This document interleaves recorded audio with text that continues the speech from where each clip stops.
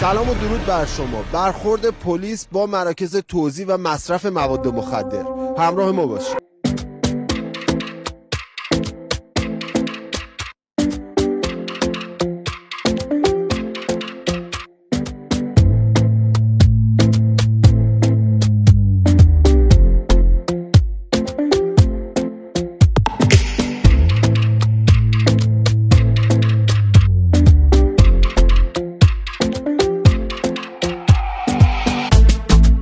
سالته؟ تقریبا 39 سالم سابقه هم داری برای زندان یا نه؟ فقط یک سابقه همین چهار ماه پیش برم مواد داشتم پنج شیش تا سابقه امروز ازش آمد بالا اگه که پنج شش تا سابقه آمد بالا پنج شیش تا سابقه همه سرقت آمده اما مواد آمده سابقه خیلی سابقه داشت مصرف کننده مواد هستی؟ خیلی نیستم مصرف کننده مواد هستی؟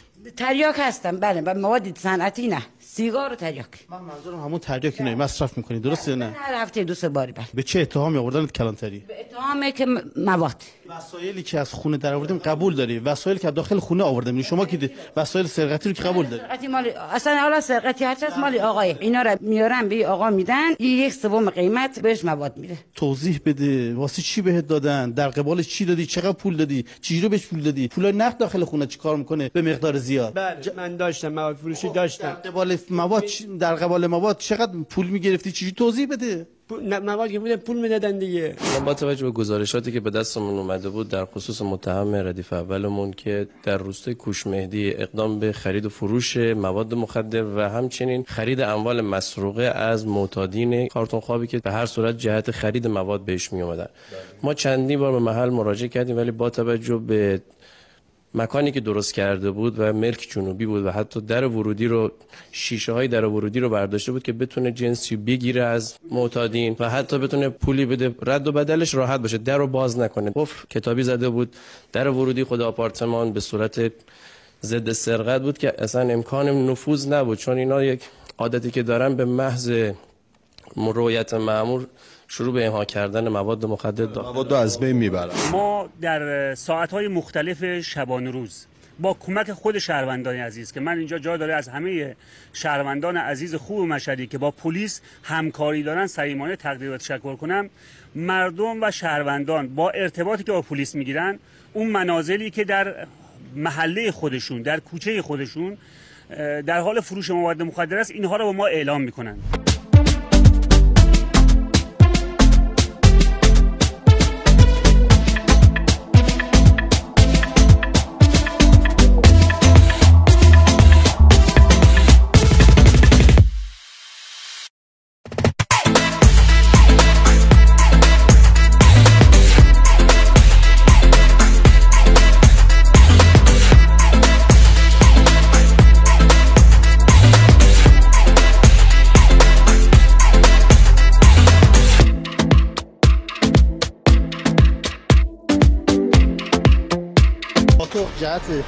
مصرف مواد. بعضا در بحث مواد می‌بینین اموال مسئول هم دریافت می‌کنه و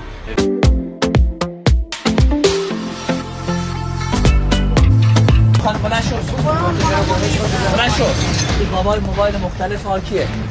الان نگاه کن یه عالمه کیف موبایل.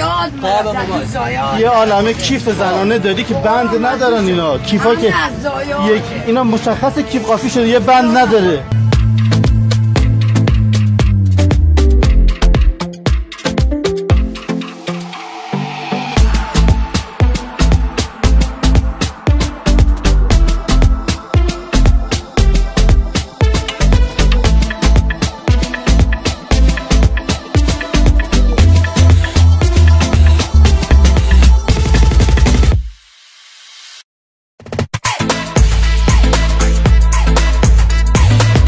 فقط یه کالا دو کالا نگرفتی ازشون؟ نه همین من فقط نگاه کن همین دو چرخ دو چرخا رو. پس دو چرخه رو گرفتی؟ دو چرخا رو خب. همین دو چرخ. ما همین رو می‌خوام بگیم. توضیح بده دیگه. مواد گرفتی دو چرخه رو ازش گرفتی دیگه. نه من پول دادم. خب دو چرخه رو هم گرفتی پول هم گرفتی. درسته یا نه؟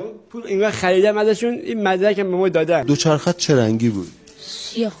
سیاه بود؟ آها عکسشو عکسش هم داری؟ خود سوارش ببخشید من ببینم. الان اینجا هستش دوچرخه بیای بری ورش داری؟ خود به این بچه که نمی‌خوره که دوچرخش رو بیاد به این آقا بفروشه. آها، این دوچرخه شما سیگار دقیقا این عکسشه. این عکسو کی گرفتی پسرم این یک یک دو هفته پیش. آره دقیقا همینه. خونتون آپارتمانیه؟ نخوره امون بودم. آها خب. بعد بالا که بودم بعد آمدم بعد چرخ هم همرام بود. بعد تو دم در که گذاشت آمدم تو تو حیات که گذاشتم. بعد وقتی که آمدم پایین که می‌خواستم برم چرخم نبود. خونه عموتون طبقه چندم بود؟ دوم. قفل نزدی دوچرخه رو نه. گزارشات پیاپی برای ما اومده بود که دوچرخه داره الان خریداری می‌کنه. فرشای قالیش های دستبافت رو خریداری کرده.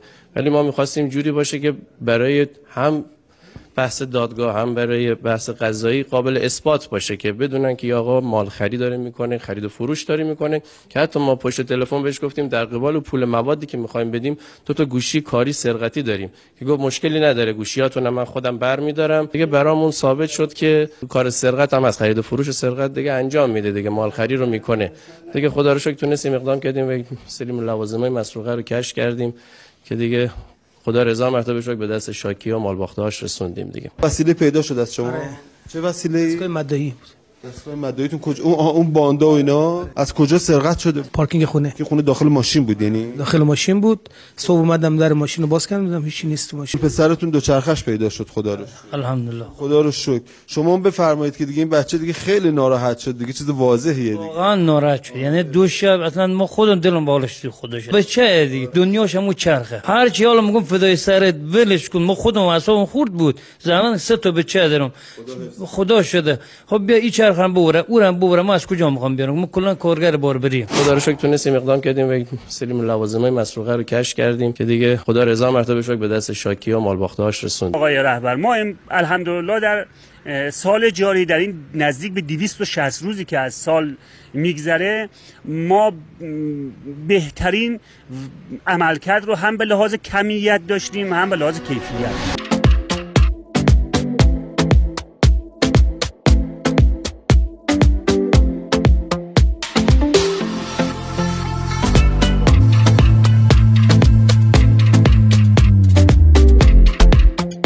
کمیت 35 درصد افزایش دستگیری خورد و فروش رو داریم.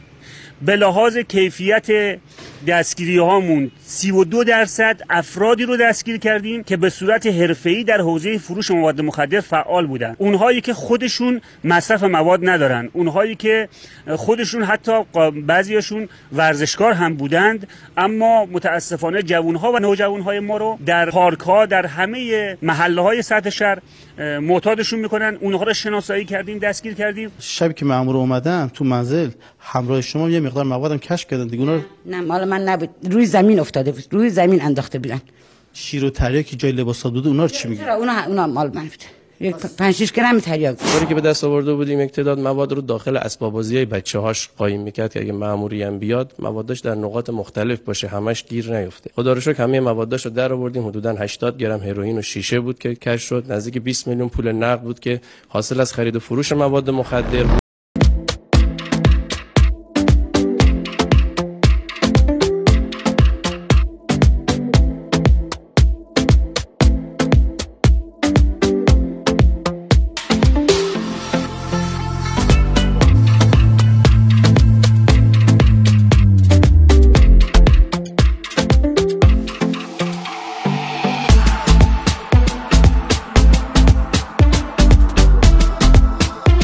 پدر جان چند سالته؟ 48 چند وقت مواد مصرف می‌کنی؟ خیلی وقت سابقه زندانم داری؟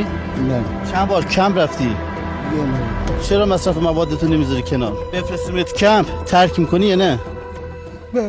اهل محلین. سلام علیکم. سلام خسته نباشید. از این خونه ها بالاخره میان می‌گیرن دیگه پلیس پاکسازی می‌کنه. شما خودتون نظرتون رو میفرمایین که چه مشکلاتی به وجود میاره برای اهالی محترم؟ دیگه برید اهالی همه مزاحمت هستش دیگه اینا. سلام پسرم حالت خوبه؟ بله. اینا رو دیدی گرفتن؟ بله. کار کردن؟ اینا رو دستگیر کردن. دستگیر کردن. چرا دستگیر کردن؟ پلیس کیا رو دستگیر می‌کنه؟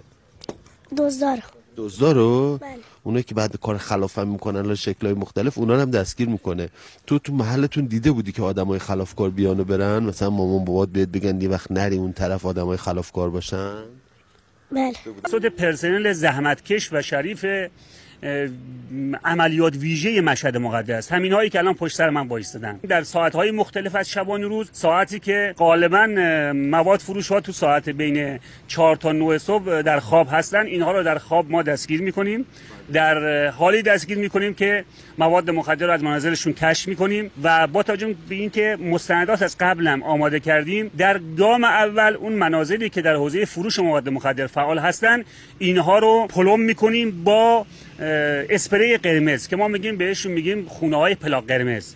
با اسپری قرمز روی درب روی دیوارها هر چی که در منظر عموم مردم هستش می نویسیم که این منزل و این واحد مسکونی به دلیل فروش مواد مخدر توسط پلیس به مدت سه ماه پلم میشه. حسب دستور مقام قضایی دستوری که دادن شدید و تأکیدی که داشتن در خصوص پلومش انشالله به امید خدا دستور مقام قضایی رو می‌گیریم به عنوان پلاک قرمز. این مکان ما توقیف می‌کنیم. در مرحله اول پلم پیش می‌کنیم. اگر بار دوم این منزل مسکونی که در بار دوم و در مرحله دوم اقدام به فروش مواد مخدر داشته باشه.